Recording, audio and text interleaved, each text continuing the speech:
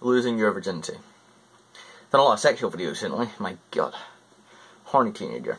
Uh, now I lost my virginity when I was around 12 years old, as I've talked about previously on this channel. Now, uh, if I went back into the position where I was back then, not the exact position, but if I went back into it, and I, I would probably not, I would not want to do it. I was very much forced into what I was doing at that time.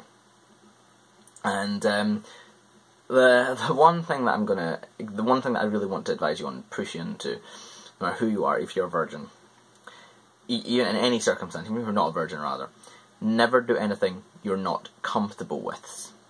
With. Even if that person is already your significant partner, there is no reason for you to do something you're not 100% comfortable with. Just because you're already in a relationship with them does not mean that you're required to do anything like that that you are not 100% consenting and happy to do. Just because you're in a relationship doesn't mean that you're required to do that. But I would say if you are in a position where you're going to lose your virginity, I would say make sure it is someone you care about. Uh, I was just sex in general, because sex to me without a significant interest in the partner that you're having sex with is pointless. I see no point in the one night stand just go off and have sex and that's it. I don't see the point in that because there's not the same enjoyment as if you are with a partner that you genuinely love and care about. But I would say make sure you're 100% ready. Make sure it's not a mistake you're going to regret for the rest of your life. Um, use protection. I don't mean guns. I learned about that the hard way.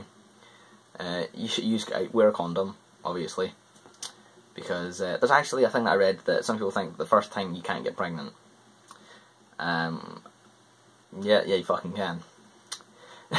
but uh, yeah, um, just be care- very careful. But make sure you're 100% ready to do it and never do anything you're not 100% comfortable with.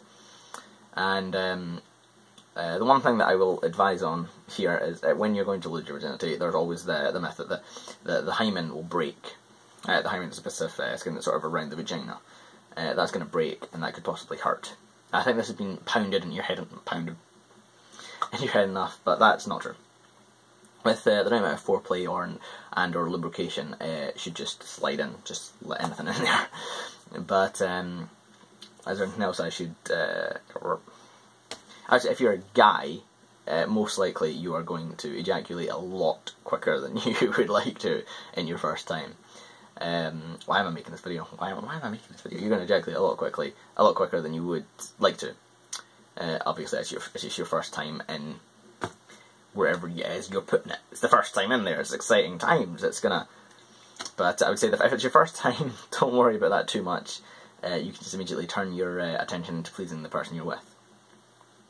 Um, yeah, I think that's pretty much everything that uh, should be covered in this video. And here are four other videos uh, that I've made that I think you should check out. They're really good. They're awesome. You should give them a watch.